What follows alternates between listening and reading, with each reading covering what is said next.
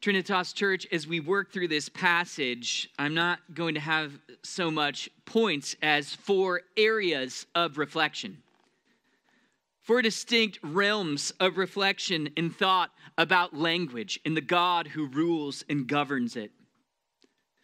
We begin with the concept as our first area of reflection that there is a language in reality that has no verbal words.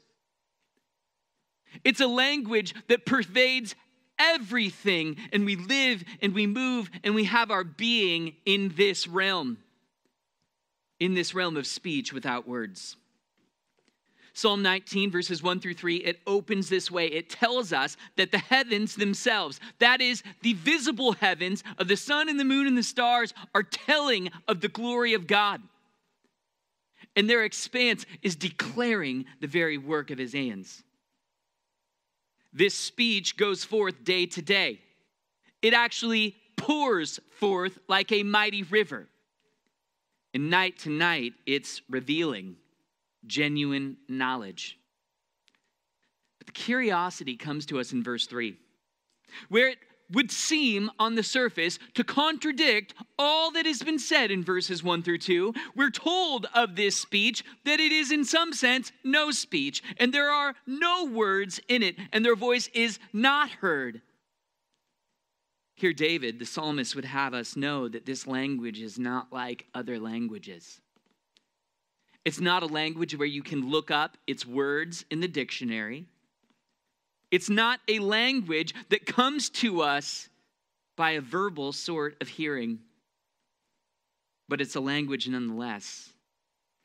Therefore, it goes on in verse 4 that their line, that is, that is the whole measure of what they have said, has gone out throughout all the earth, and their utterance, though it be not a verbal utterance, to the very end of the world. What speech are we talking about here? You know, it's funny. Uh, you've all heard this before. You've all heard that the greater part of your communication is nonverbal. You ever heard that before? I know you have. Some studies say as much as up to 93% of our communication is nonverbal, 55% body language, 38% is tone of voice. Why do you suppose this is the case? That most of what you're communicating isn't even happening with the words you speak. I'll tell you why. This psalm tells us why. It's because there is a language that precedes every human language. And let me tell you something about this language. Its very first word is God. God is always speaking to us. His voice is always instructing us, and with infallible authority at that. It's actually an unspoken language that teaches us from the moment of conception to look for patterns, symbols, communication, meaning everywhere and always. You see, friends, before you can begin to learn a language, a human language, you have to have an unshakable certainty within you that there is language to be found, there are patterns to be discovered, there are communicators out there. The Bible tells us this is the very voice of God. This is the ineradicable, inerasable knowledge of God. And guess what? Infants have it from the moment they're in the womb to the moment they come out looking for communication, knowing that they're made in the image of a communicator, knowing that this whole universe is God's communication, and therefore looking for patterns, looking for regularity, looking for words. My friends, a verbal word is but a symbol that represents some generality in the world. A word can be something like mother, representing a generality, moms in general throughout the world.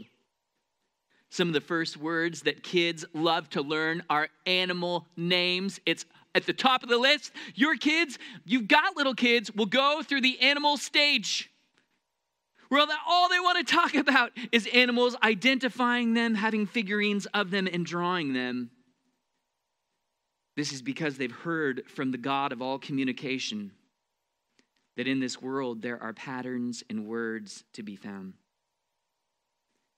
It is a wonderful truth that this confidence that the whole universe is speaking to us cannot at first be learned from the world's speech. It is that which precedes the world's speech and makes it intelligible. It is because we're made in the image of God, and David knows it. He speaks of it and he praises this general truth. What this means is that skeptical worldviews that call into the question the existence of God this universal communicator. These worldviews, they must be learned. They must be imposed upon us because they are not natural. One of the great philosophers of the modern period, a man by the name of Rene Descartes, he's famous for his concept of Cartesian skepticism to not believe anything that you cannot prove with an indubitable rational proof to doubt before we believe.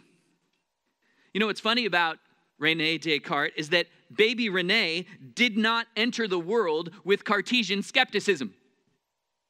When his mother aimed to feed him, he didn't say, You know, mom, how can I be certain that it's not poison that you're going to put in my mouth as opposed to nourishing milk?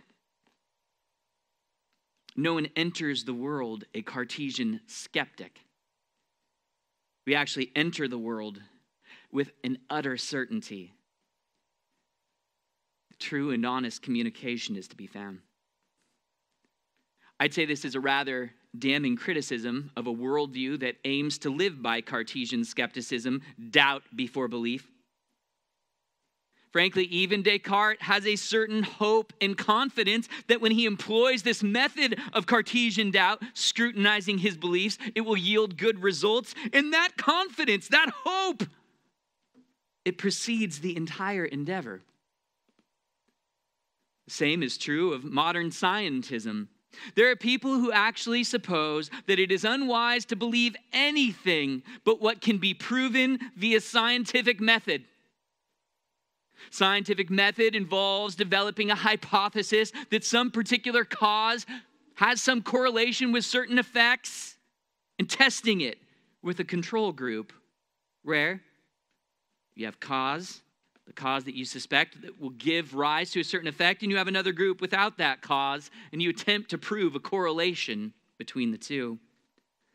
Funny thing about every scientific experiment is that it always assumes much more than it tests.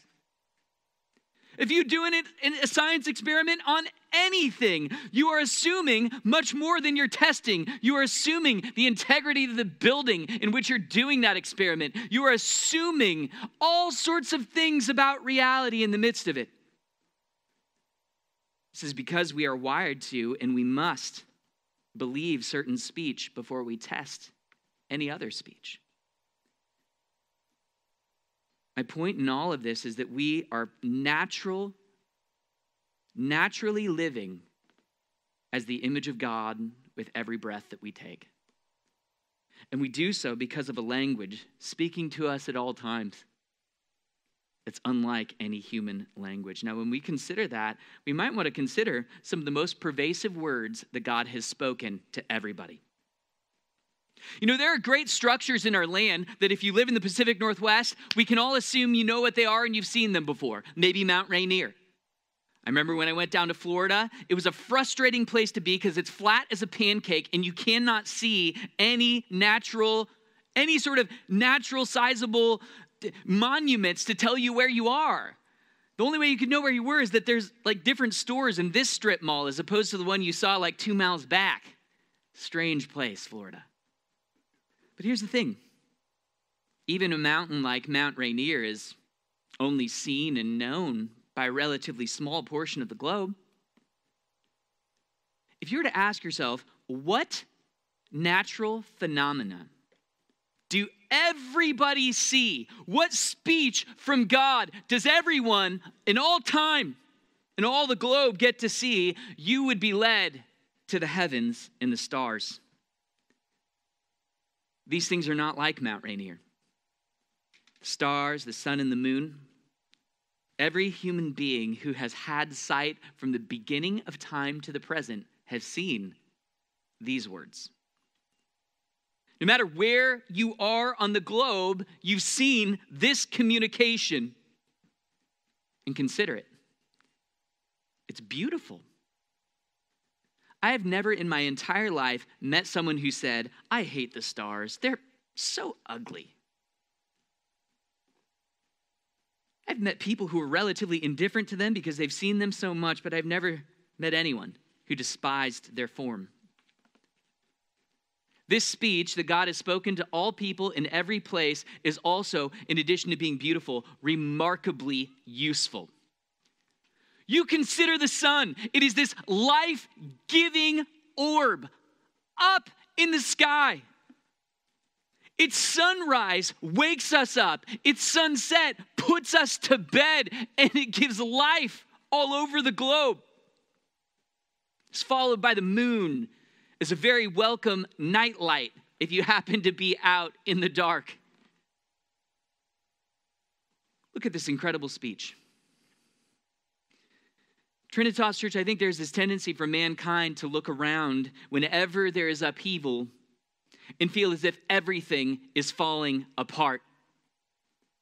God's speech to you and the sun and the moon and the stars says, No, Sin is only found in this little dot called earth where little grasshopper people live, you and me. And in the greater cosmos, there are these phenomena that obey the voice of God and speak to us his normalizing influence on all things. The very worst of our wars, the very worst of our behaviors are against the stars like a grasshopper rebellion against a human populace. It's small and minute.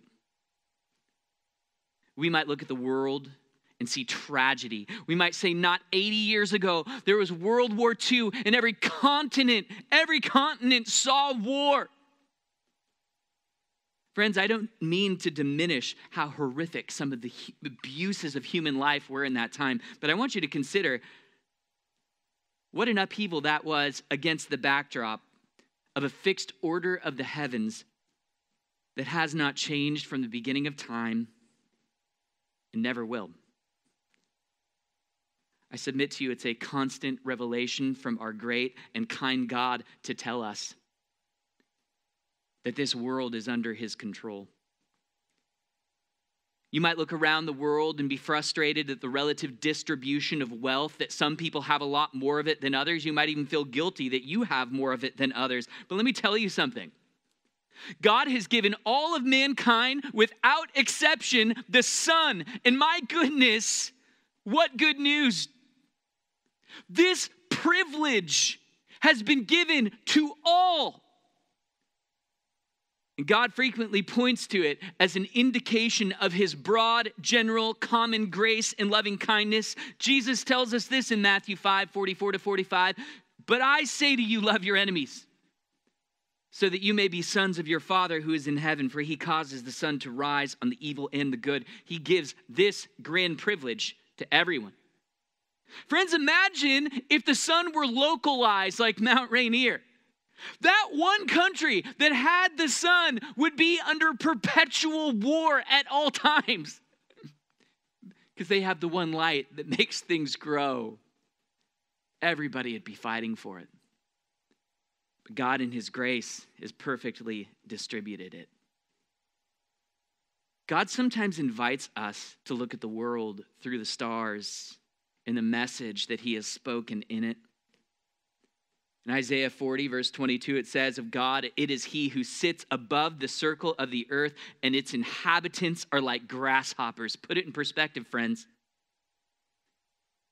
The stars tell us that there is a reality much bigger than ourselves, and this universal communicator through them to us must be even greater and bigger still. God often comforts us with the stars. He tells us this in Jeremiah 31 35 to 36. Take this in. You worried about the church? Are you worried about her longevity in the earth? Are you worried about the people of God? Hear this. Thus says the Lord, who gives the sun for light by day and the fixed order of the moon and the stars for light by night. If this fixed order departs from me, declares the Lord, then the offspring of Israel also will cease from being a nation before me forever. And what are we if not sons of Abraham because we share the faith of Abraham? God has spoken a message to mankind, everyone for all time, through the heavens. He has revealed His mighty hand, His loving kindness, His wisdom. And it is unambiguous. I say this to you, especially if you have fear about upheaval of words and language. We can play games all day attempting to redefine this, redefine that, but the Lord is telling us, My language will have sway. What I have spoken will define things. Man may rebel against it, but look at my words in the heavens. They run their courses. The Lord's word is going to subdue human rebellion. These things remain. Our fallacious languages, our ridiculous reasoning, they disappear with us. Let's turn to our second realm of reflection. If you were taking notes, this would be something like the second point of the sermon. We're going to talk about language and symbols. There is a remarkable thing that God has done with his creation that we take for granted so naturally. We never stop to consider it, but it's remarkable. God has made language in such a way that symbolism, deep symbolism, can be expressed through it. And it didn't have to be that way. Specifically in verse 4, it says this In them, that is, in the heavens, he has placed a tent for the sun, which is as a bridegroom coming out of his chamber. It rejoices as a strong man to run its course. Its rising is from one end of the heavens and its circuit to the other end of them, and there is nothing hidden from its heat. I want to tell you something about human poets. What you just saw right there was an instance of symbolism, the sun being described as a bridegroom. When human poets engage in these sorts of verbal flourishes, these wonderful connections between things, consider what they're doing. Out of the cleverness that God has given them, they are noticing an association of one reality with another reality. You might say that someone swims like a dolphin. You might say of a politician that his star is rising. You might say of a woman's beauty that it's like a dove. When human poets do this sort of a thing, they begin with one given reality and they associate it with another given reality, but the situation is radically different for God. No human poet creates the very symbol and the reality. He merely forges a connection between them. This is not the case with divine poetry. God did not look down on his creation and say, My goodness, well, I've got this sun. Hey, wait, that's kind of like a bridegroom. That's kind of like my son, Jesus Christ. He didn't do that. Rather, God, in his infinite wisdom, said this What can I create that could possibly serve to service as a symbol of my son? That is to say, God, in his grand wisdom and divine design for creation, to have his son incarnate, take on human flesh. In light of this eternal decree, said, What could I possibly make to service him as a symbol? If you don't understand what I'm saying, it's this simple, friends. What if I told you there is only one ultimate reason why the sun exists?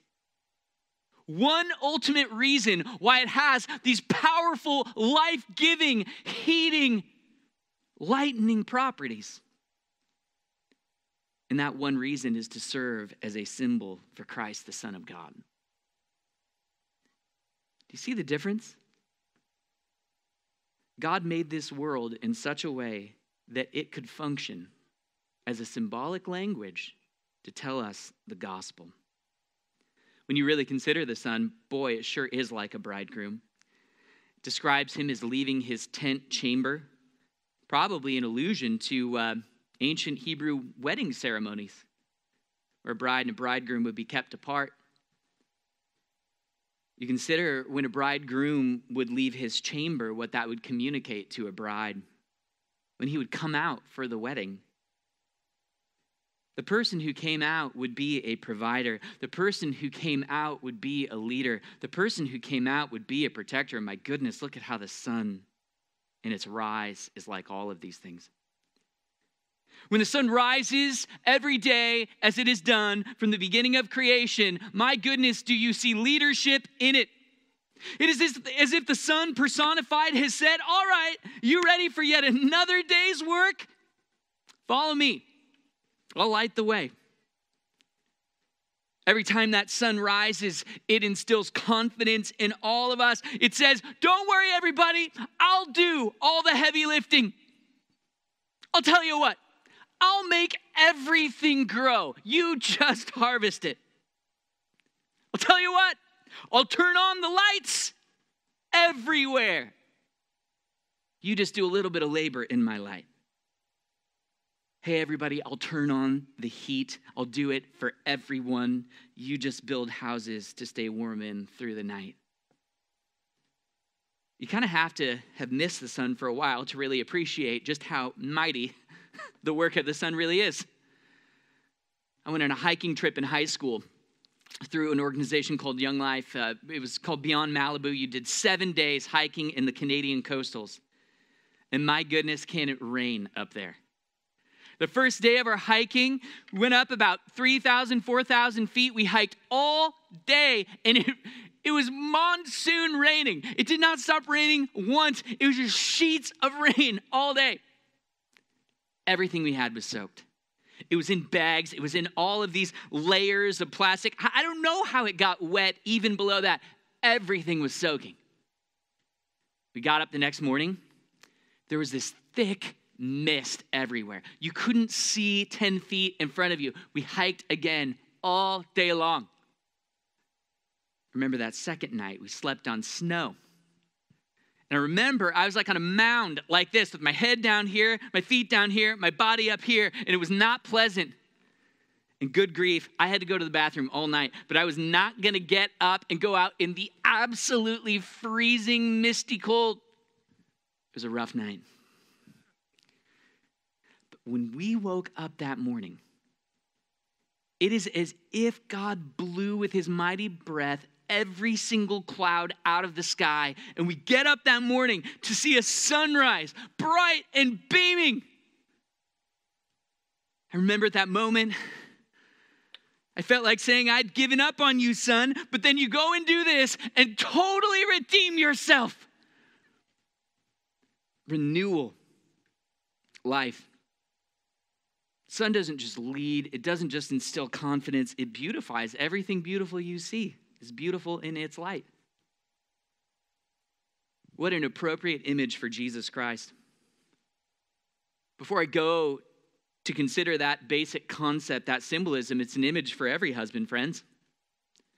If you are a husband here, you are to rise with leadership in your household you are to instill confidence in every member of your household that they can work under the shadow of your wing.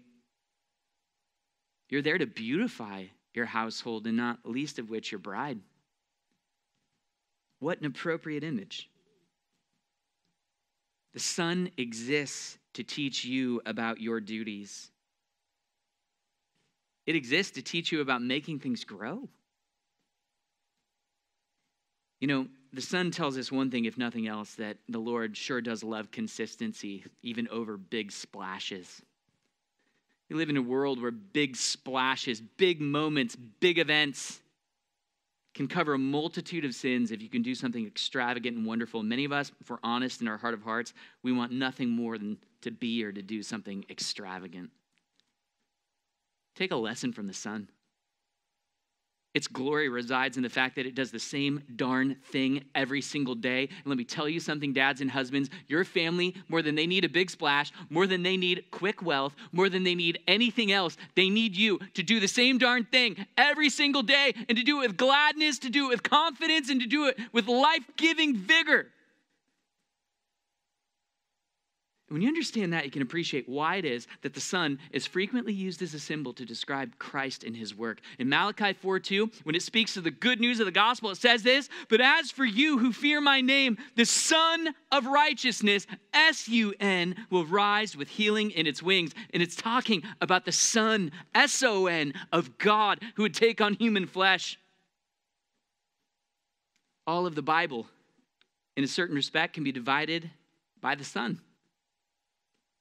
Honestly, we're taught in Scripture that the day begins in the evening with the dark. Midway through it, the sun rises and you get the day following the night. This is the whole story of the Bible. The Old Testament, as it were, begins in the evening. The entire Old Testament before Jesus Christ is, as it were, in the night. They're not without revelation. They had the good news of the stars and the moon. But my goodness, when Jesus Christ came and took on human flesh, it's like the day dawned. And you and me live in the day as opposed to the night. We live in the New Testament age where God's people have been more productive in proclaiming the gospel all over the globe than they were in the Old Testament fact, Paul loves Psalm 19. He describes gospel preaching like that line that stretches through the heavens as one message over the entire earth and says that's what our gospel preaching is like going out, covering the globe. Friends, my point is not that people could have looked at the sun and deduced that Christ would be coming or be like the sun. But my goodness, after Christ has come and we've lived in the light of the sun, my goodness, does it not become clear that the sun existed for no greater purpose than to serve and to function as an appropriate image for our Savior and King? we turn now to our third area of reflection. Maybe you're numbering points, that would be number three. It's language in its relationship to special revelation, actual verbal revelation. See, in verse 7, a, a, crazy turn takes place in this psalm, and it's kind of unexpected. We've been talking all about natural revelation, all about the stars, God's speech without words, and then in verse 7, like a lightning bolt, we read, The law of the Lord is perfect, restoring the soul. The testimony of the Lord is sure, making wise the simple. The precepts of the Lord are right, rejoicing the heart. The commandment of the Lord is pure, enlightening the eyes. The fear of the Lord is clean, enduring forever. The judgments of the Lord are altogether true. They are more desirable than gold, yes, than much fine gold, sweeter also than honey and drippings of honeycomb we have this remarkable change of topic, so it would seem to our ears. But I'd have you know that it's more fundamentally one and the same. If you're a very close reader of the biblical text, you might have noticed a change of language. In the first six verses of this psalm, God is referred to by the generic word God, El or Elohim in the Hebrew. It's a word that denotes God's power. It literally means power. When speaking of general or natural revelation, all of mankind can infer and understand from that basic speech of God that there is a mighty power beyond all powers. But in this part of the book, or the chapter, the Lord's name is changed to Yahweh or the Lord. What it's telling us is God's personal name now. For those who know God in covenant with Him, and those who know God in covenant with Him, know Him by, as it were, a first name, not a general name. It is the name that God gave Himself in Exodus 3 when speaking from the bush, and it means I am. It was the glorious name by which God's people got to know Him, and it was accompanied by the revelation of a law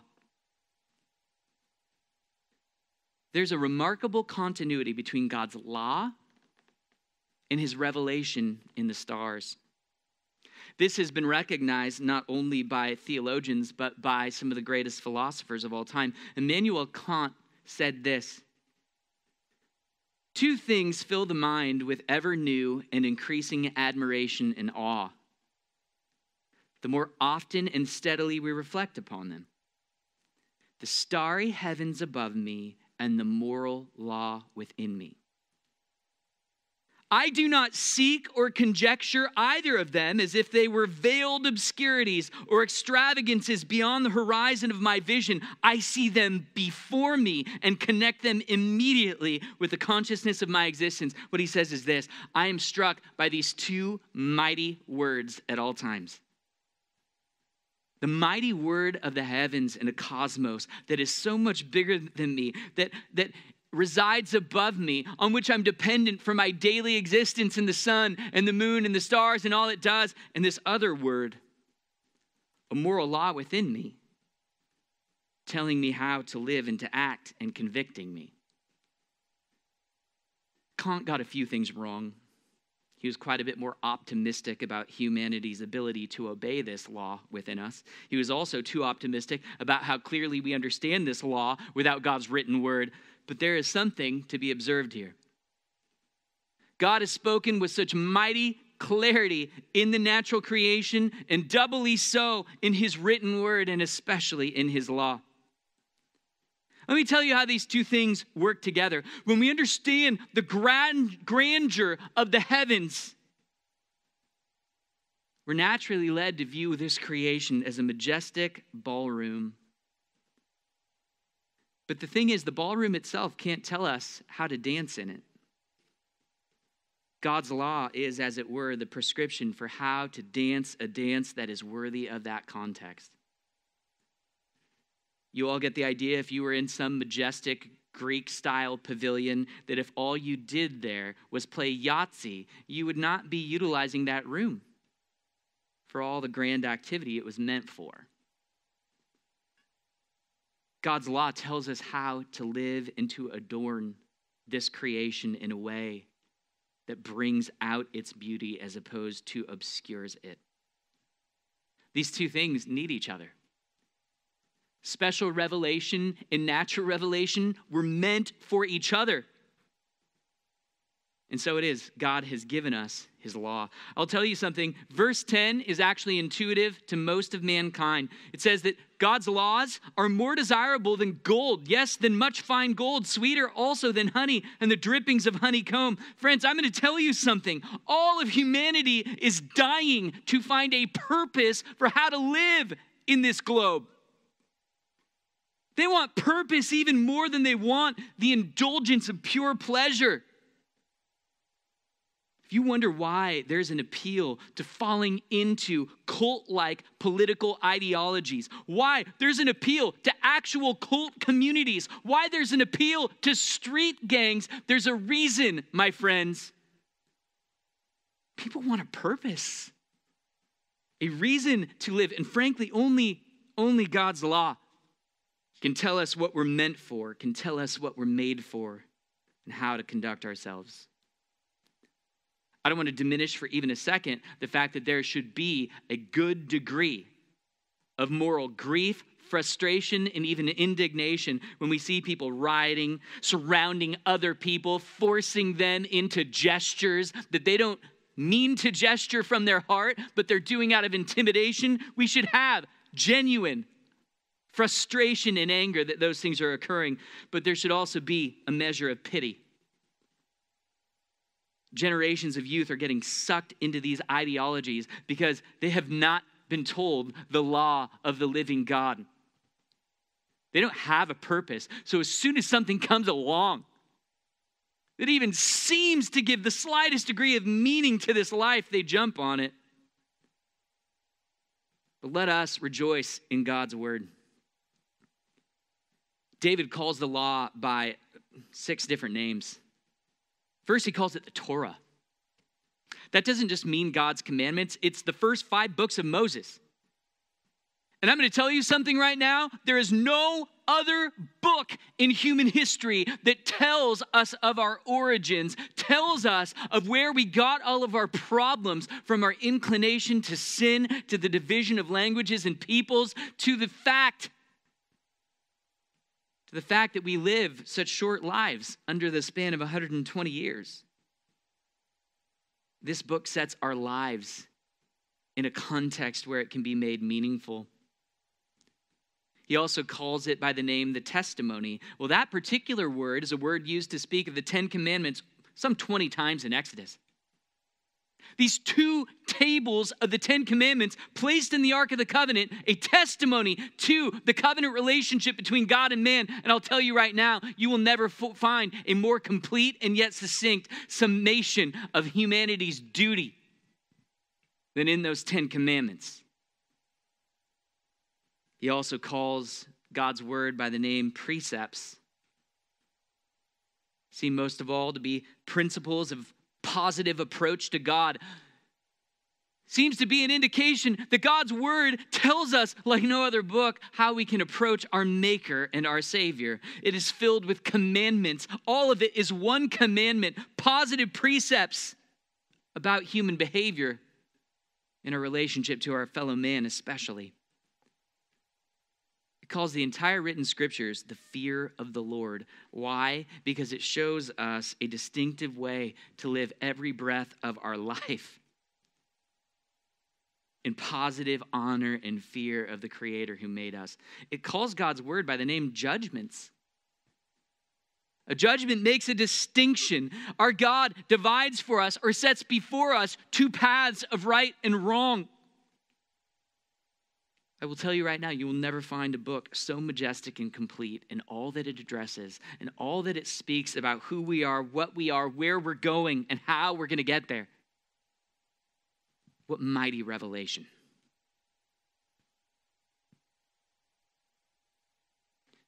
But here's the thing for as life giving as it is to have such a revelation, as encouraging as it is, all of the descriptions that David gives it rejoicing the heart, enlightening the eyes, enduring forever. There's also this problem of which David was so aware and of which we're so aware. We've contradicted God's language, his words in special revelation. How many of us daily forsakes God's judgments and distinctions? How many of us have failed throughout our lives to clearly distinguish and guard the difference between a girlfriend and a wife and how we relate to her?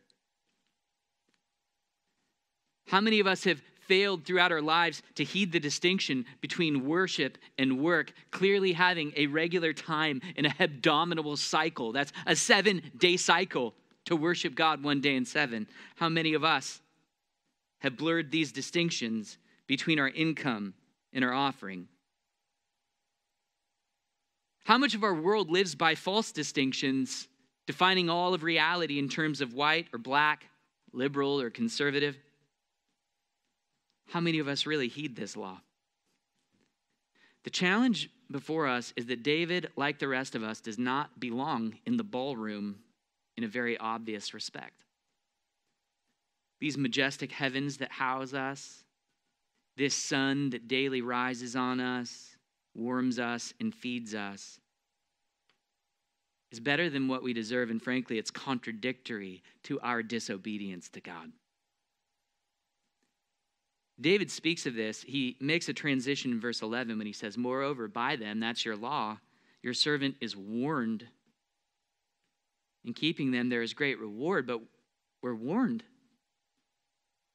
because we're sinners who need a warning. Friends, we've committed flagrant sins. We have rebelled in a way that the sun and the moon and the stars never do.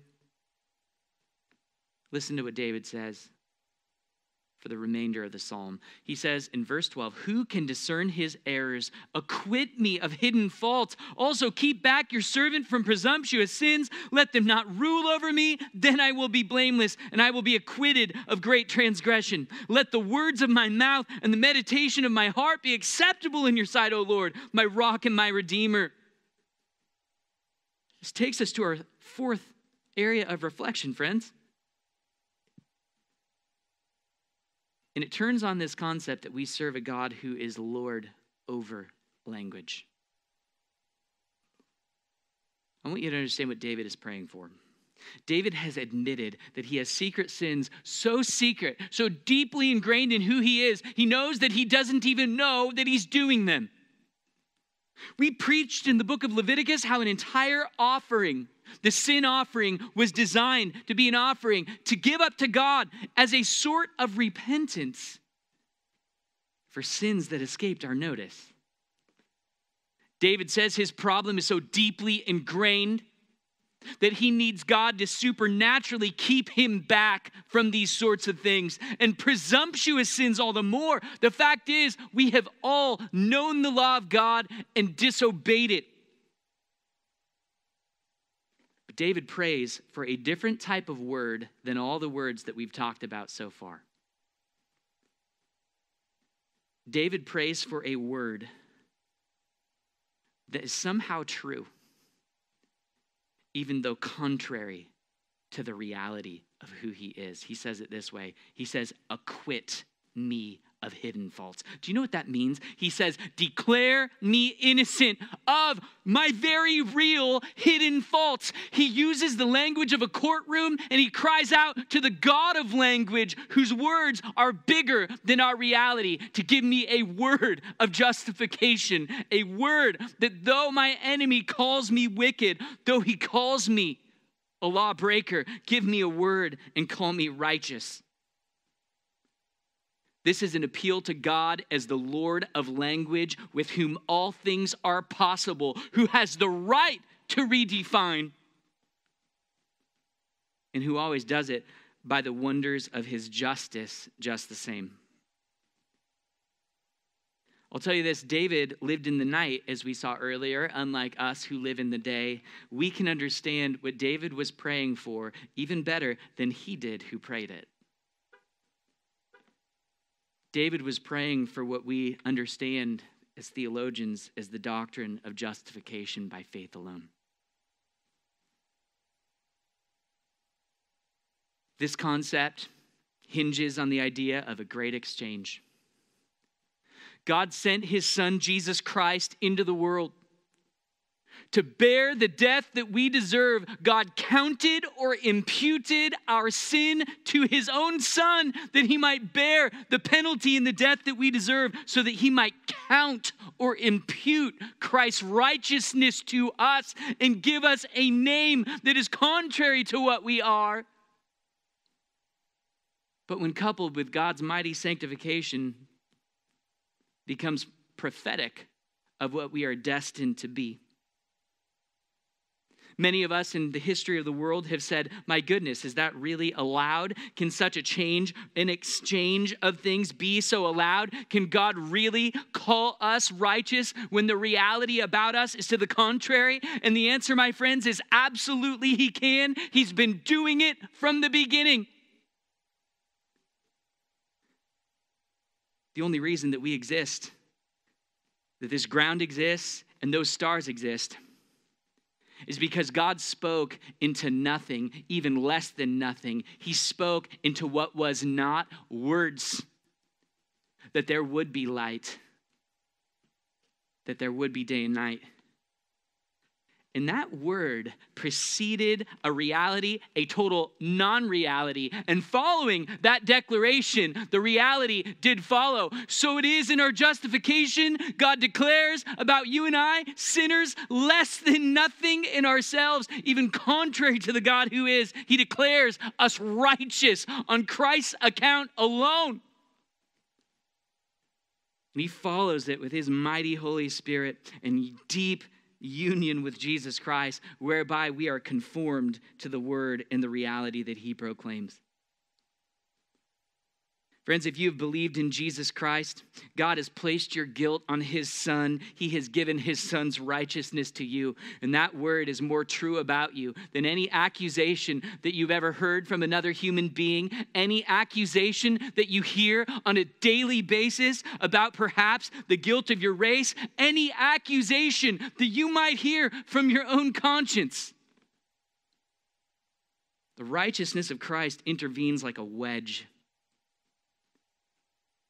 And it gives you a new identity and a new name because the Lord of language, He's not bound by your sin.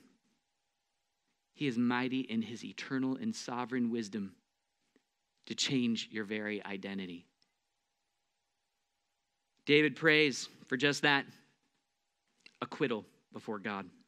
He prays that following that acquittal, God would even keep him back from presumptuous sins, that he would make him more like the Christ to come. David recognizes that throughout his life, he's still going to be a sinner until that great and final day. And he therefore prays, even for his own prayer, knowing that our faults are so hidden in secret. He follows this whole prayer with saying, Lord, let the words of my mouth and the meditation of my heart be acceptable in your sight, O Lord, my rock, my redeemer. Maybe my theology went wrong in this prayer. Maybe my motives went wrong in this prayer. Maybe even my requests were a little bit off. But Lord God, let me pray even for this prayer. Pray even for this worship. Cover it cover it. There's nothing more powerful, friends, and being told that our burden has been removed and being called by a name that we don't deserve. It actually inspires us to want to be more like the reality that has been declared. Take this into your relationship with your friends, in this church, and your children that you're raising in the Lord. My goodness, your kids need to hear it after you've disciplined your kids. These kids who can talk and no doubt who parrot your profession of faith, tell them the reality of what that profession means. My goodness, you will have so many opportunities throughout the day, parents, to tell your kids what they've done wrong. They need to hear the good news, the word of acquittal, that in Christ they are perfect and righteous in their Savior in whom they believed. We need to speak this to one another.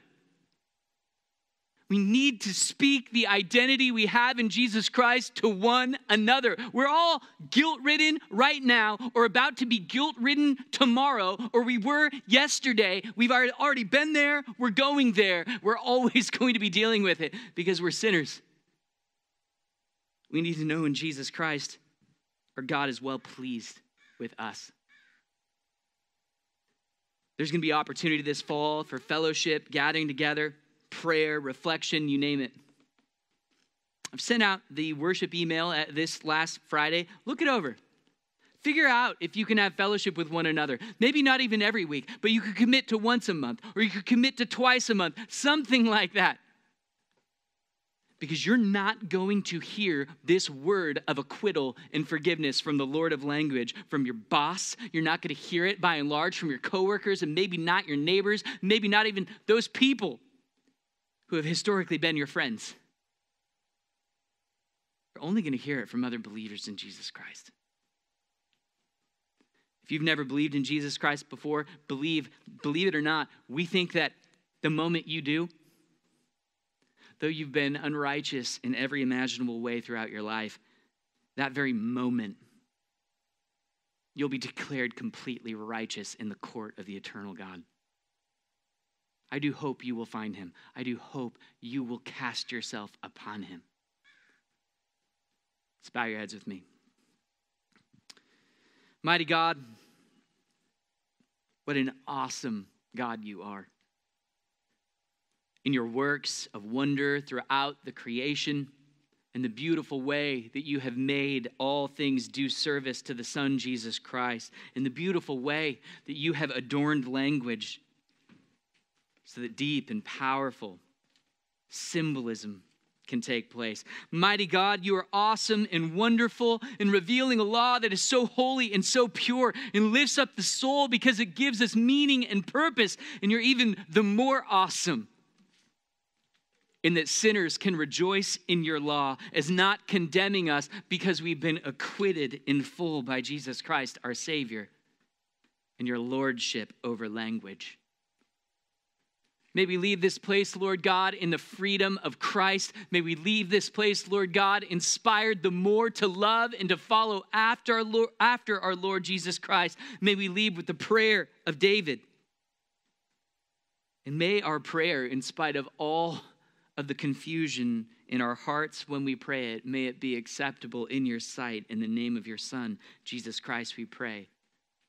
Amen. At this time, we're going to take an offering, friends. If you're wondering how to give, uh, we'll have a deacon go around with uh, an offering uh, bag or some pocket. Uh, that's weird. Um, you can also give online. You can also give via our church app. So if you have any questions for us about that, please talk with us after the service. But let's continue worshiping the Lord God, giving back to Him what He has given to us.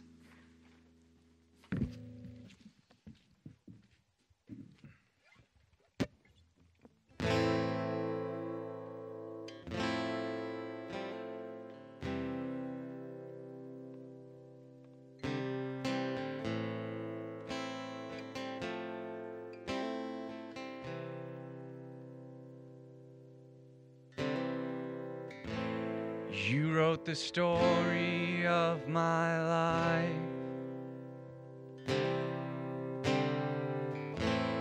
You go before you fall behind.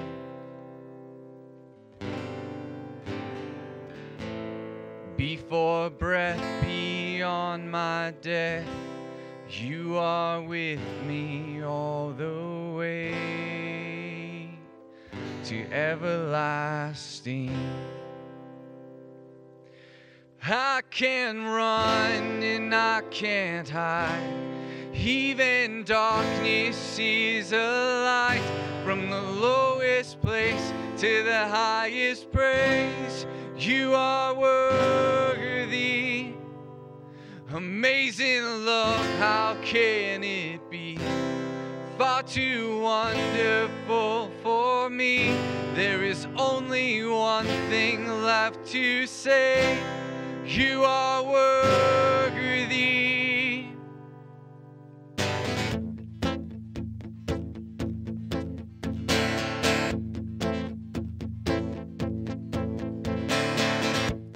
Search me, God, and know my heart. Hey, let's all stand. Try me, know my anxious thoughts. Find no weakness in me and lead me in the way everlasting. I can't run and I can't hide. Even darkness sees a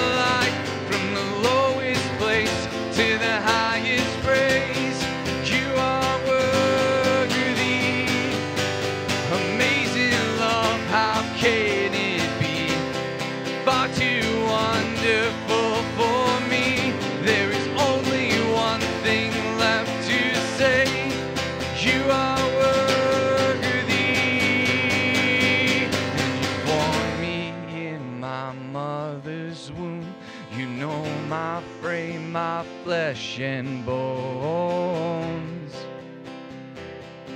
How wonderfully made. Oh, I can't describe, it's way too hard. You see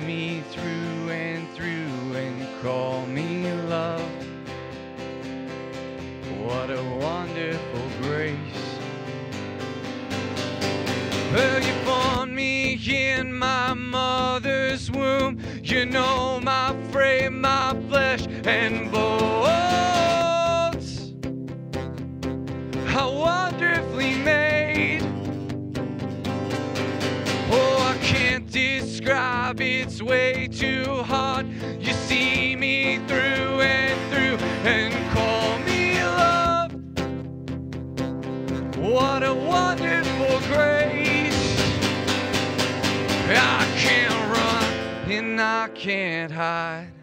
Even darkness sees a light from the lowest place to the highest praise. You are worthy. Amazing love, how can it be? Far too wonderful for me. There is only one thing left to say. You are worthy.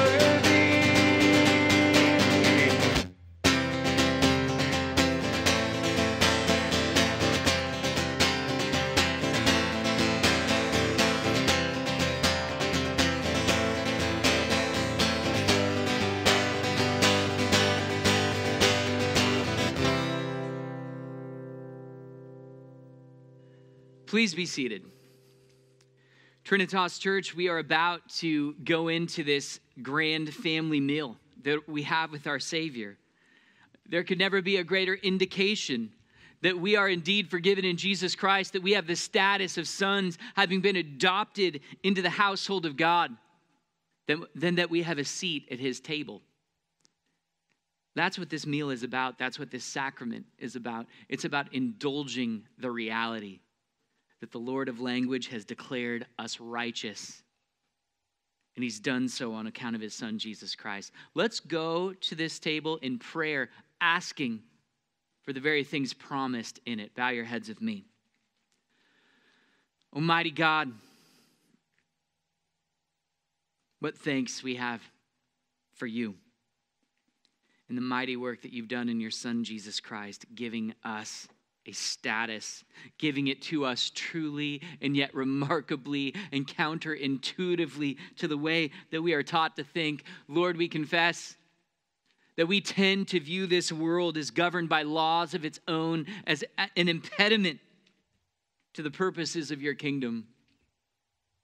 And yet, in your Son, Jesus Christ, you have shown that you have all sovereignty and that you can truly, powerfully call us holy, call us righteous when we have no desert to that title or name in ourselves. Praise you. God, we've already come confessing our sin, how difficult it is for us to believe this. Lord, we've already come confessing our weakness and the need for illumination when it comes to reading and understanding your word. Now, Lord God, we pray for communion with you. We pray for that Son in whom we have redemption to dwell more richly in us. May he be to us our very nourishment. May he indeed be the Sun of righteousness who causes all things to grow and causes us to bear fruits of your Spirit. We pray for these things. We also lift up to you, Lord, King of Kings, the many of our brothers and sisters who are in distress. We lift up to you, Lord King, those who have experienced great loss, those who are experiencing great great pains and difficulties in their relationships. God, we pray for those who are not able to be with us because they are sick. We pray for many of the elderly who are not able to be with us on account of assisted living centers that affords them very little freedom. God, we pray and we lift up to you those brothers and sisters whom we haven't seen for months. God, we lift up to you Marsha McKelvey, a caretaker herself. God, we lift up to you Michael Chaplin and Crescent. God, we lift up to you Norman. God, we lift up to you Harry and Debbie. God, we lift up to you all of the others. We pray that they would be with us in spirit, that they would be nourished with us in spirit. In Jesus' name, by your Holy Spirit. Amen. As we go to the table, let's rise to our feet and confess what we believe. Trinitas Church, what is justification? Justification is an act of God's free grace unto sinners, in which he pardoneth all their sins, accepteth and accounteth their persons righteous in his sight, not for anything wrought in them or done by them, but only for the perfect obedience and full satisfaction of Christ by God imputed to them and received by faith alone.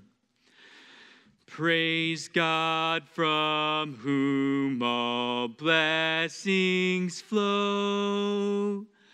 Praise Him, all creatures here below. Praise Him above, ye heavenly hosts. Praise Father, Son, and Holy Ghost. Amen.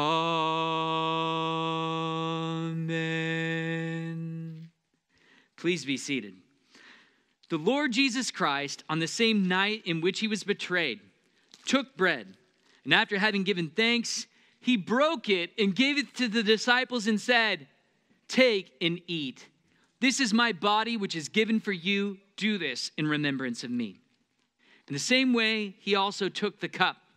And after having given thanks, as we've done in his name, he gave it to the disciples and said, This cup is the new covenant which is in my blood, which is poured out for many for the remission of sins. Drink of it, all of you. If you've never believed in Christ, you've not been baptized into Christ, you're not a member of his church, refrain from this meal.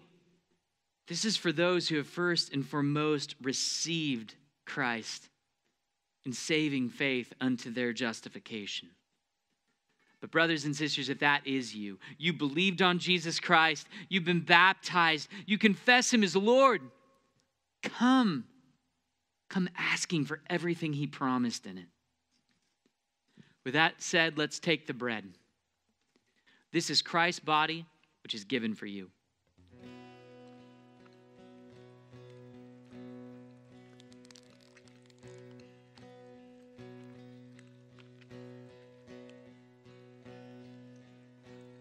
In the same way, let's take the cup. This is Christ's blood shed for you.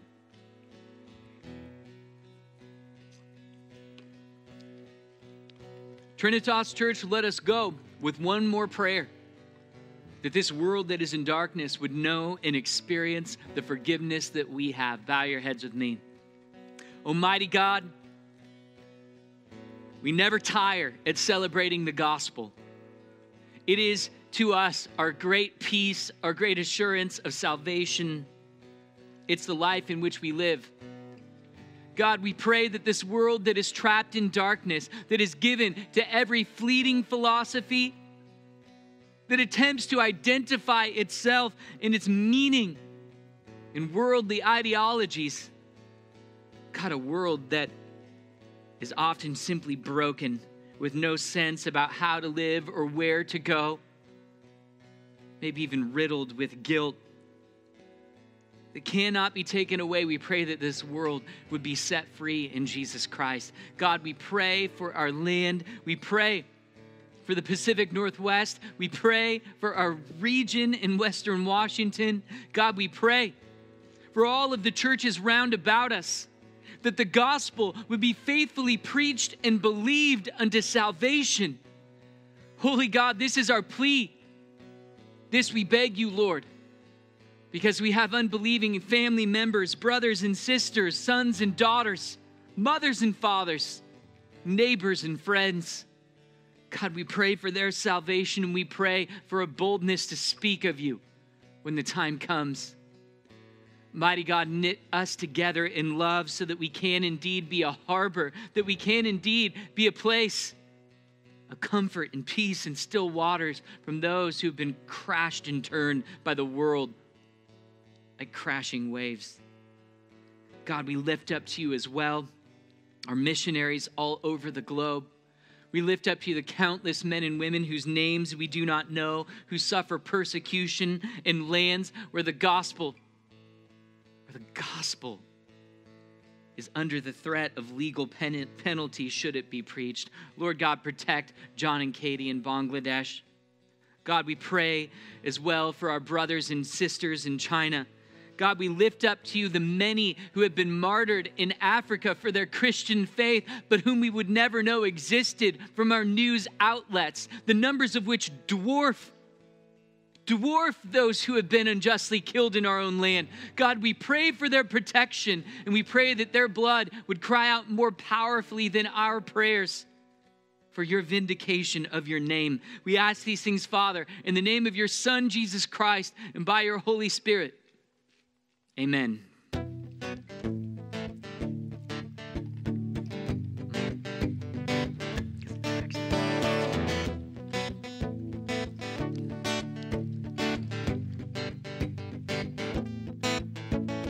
Mighty Lord, extend your kingdom, be the truth with triumph crown.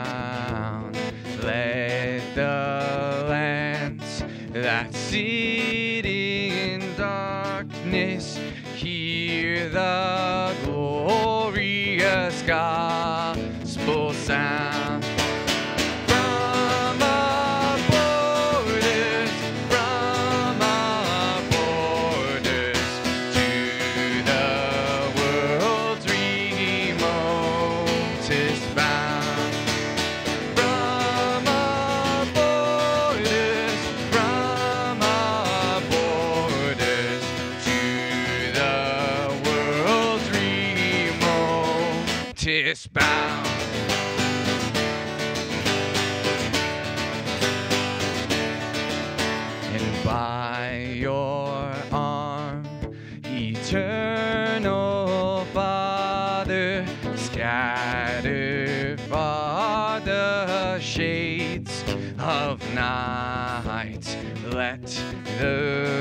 Great.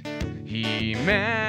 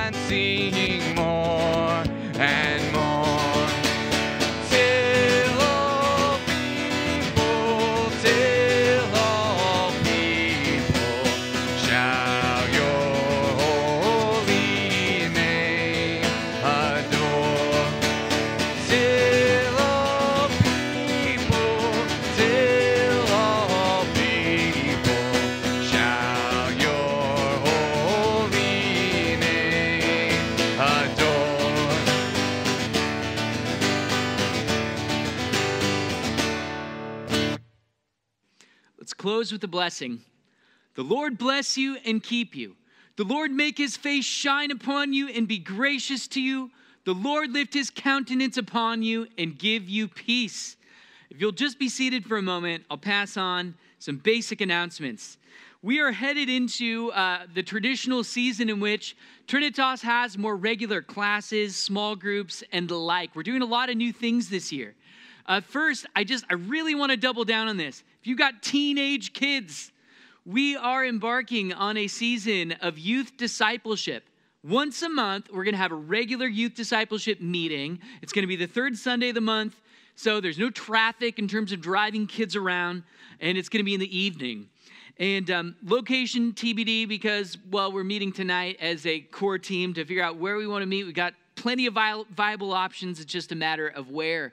But we're also going to have youth events that supplement that, opportunities for fellowship and fun and uh, getting together, getting to know your peers in Christ. Additionally, we've got small groups, one on the north end that the Kaminskis and uh, Zach and Tiffany Wetzel are going to be heading up. If you live northward, okay, so that's, you- you're in the, the north end of the Snohomish County end of things, please find, find Zach or the Kaminskis, they're somewhere around here too. Find out more about the group. The info is in all of the emails that I will be sending forth henceforth, um, the worship emails, and figure out if you can make it out on a Tuesday night, twice a month at 6:30 to do sermon reflection. Word has it, Zach Tate takes incredible sermon notes that are even more incredible when I clearly indicate what point I'm on. So we're working on both of those things, and it's going to make for even better sermon discussion. But please figure out maybe you can show up once a month, maybe you can show up all the time. But consider these groups. Feral group still going strong every Thursday night. We've got a women's study on there as well. And of course, if you'd like to get down and dirty, do a little bit of reading and learn about some church history going back to the Reformation to the present, show up at the Bosserman House at 6 p.m. on the second and fourth Sunday of the month. All right? All of that being said, the Lord bless you and keep you. And you guys have a great Lord's Day. Get some rest and let's gear up for the fall.